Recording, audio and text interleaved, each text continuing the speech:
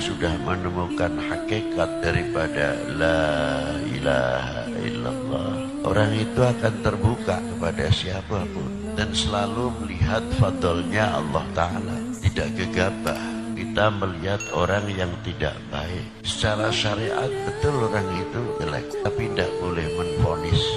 Orang itu neraka, dirinya sendiri belum tentu.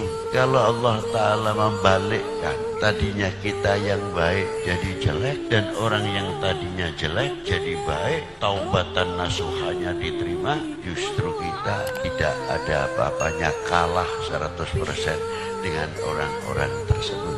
Apabila kita mau melihat fadlnya Allah Ta'ala yang diberikan kepada kita Menunjukkan setiap orang yang diberi adalah fakir